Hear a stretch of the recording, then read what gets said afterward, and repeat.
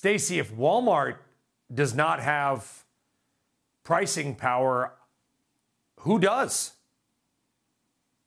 You know, Brian, it's it's where there's smoke, there's fire here, and Target guided down very you know only a couple weeks after they reported earnings, and Walmart's following here. And I think the in the inflation impact on the consumer, companies just simply did not appreciate here.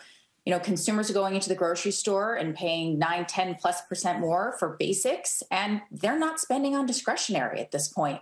And you're seeing that across the board. I mean, you look at, we monitor about 80 companies in US and Europe, and less than 10% of them don't have higher promotions versus last year or even versus 2019 at this very point. Yeah, we're showing right now on our screen, Stacey, Target stock down 4.5%, Costco down about 2.5%, Amazon down over 3%. Is that fair? I know the market's not fair. I hate that term, but do you think this could be a Walmart problem, or is Walmart more likely that canary in the consumer coal mine?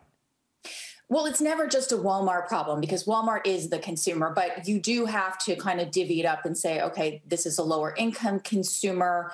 Um, they're spending more on food, which is lower margin. By the way, Walmart raised their comp guidance because of inflation, but lowered their earnings, you know, they're going to be down high single digits versus expectations of flat earnings growth for Q2. So I think, you know, Walmart is absolutely a reflection of the consumer across the board. And Target, while it's slightly higher income, is feeling the same impact. And they told us that weeks ago. Bath and Body Works just told us last week that they're seeing the consumer come in. So it's it's absolutely across the board. When you're stealing more money from the wallet to put food in the refrigerator, and something else has to go. And that's exactly what we're yeah. seeing from body care to consumer electronics. I was actually in a Walmart yesterday that has a grocery store in it. I mean, there were a lot of people in the Walmart. I should have taken a closer look at their carts to kind of figured out where they may be going.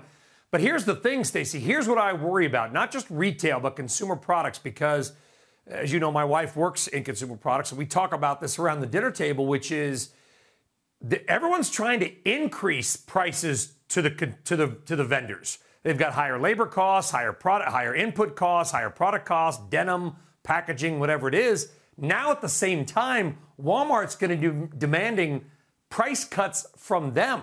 I mean, it feels like we've got this consumer products and retailer game of chicken, which is going to end very badly for one of them.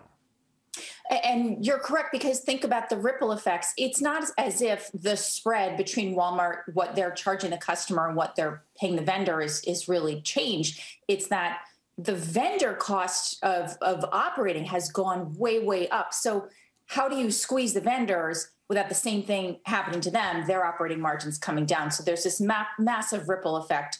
And Walmart also is going to set the tone in the market, as Target has very aggressively. Yep so everybody else has to follow. And meanwhile, again, your cost basis is not changing, but you're trying to move inventory by lowering end prices. And you're correct, this does not end well because the ripple effects through the chain, there has to be a push on vendors when perhaps they can afford it less now than at any time in recent history. Yeah.